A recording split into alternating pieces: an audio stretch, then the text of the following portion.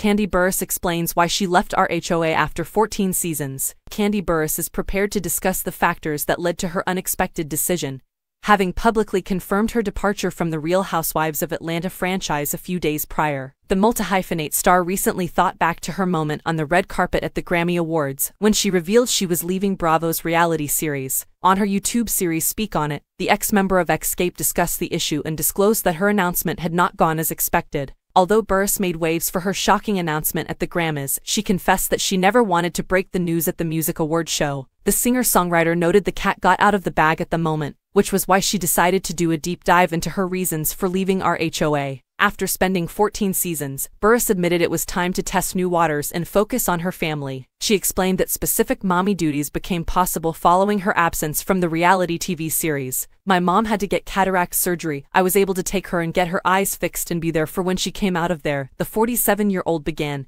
adding that she also spent time getting her children checked out.